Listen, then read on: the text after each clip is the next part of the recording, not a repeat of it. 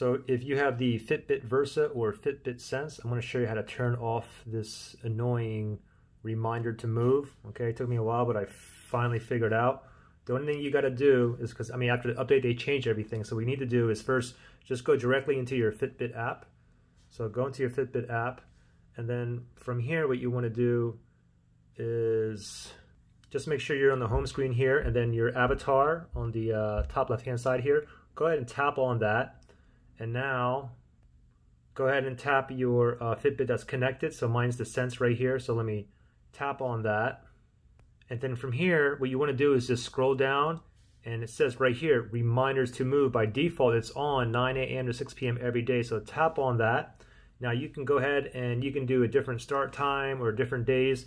Or if you turn want to turn off completely, just hit this, okay? Now once you do that, now the thing is, you need to go back you need to go back and then just go ahead and whoop, go back to the main page here and just swipe down and make sure that swipe down and make sure that it's synced okay? I, I, get a sync failed. I need to go ahead and restart my, my watch here. But anyway just make sure it's synced and then you're not going to get those reminders on there anymore okay? Good luck